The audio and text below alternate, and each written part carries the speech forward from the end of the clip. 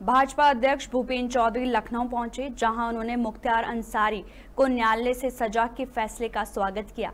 उन्होंने कहा, जिन अपराधियों ने अनैतिक काम किए हैं, हमारी सरकार का संकल्प है और संकल्प के आधार पर माननीय न्यायालय के साक्ष्य उपलब्ध कराए गए।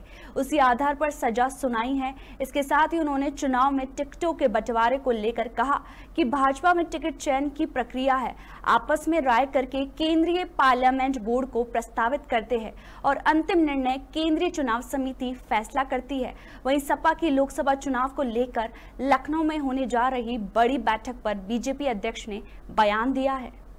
माननीय न्यायालय का जो भी फैसला है, हम उसका स्वागत करते हैं। और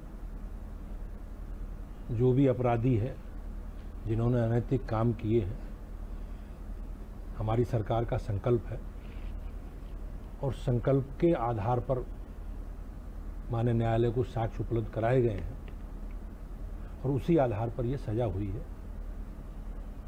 और मैं एक बात कहता हूँ, जैसी करनी वैसी भरनी। भारतीय जनता पार्टी में टिकट का प्रक्रिया, चयन की प्रक्रिया है और हम लोग आपस में बातचीत करके राय शुमारी करके केंद्रीय पार्लियामेंट्री बोर्ड को प्रस्तावित करते हैं और अंतिम निर्णय मान्य जो हमारी केंद्रीय पार्लियामेंट्री बोर्ड है, केंद्रीय चुनाव समिति है वही इस पर निर्णय करती है।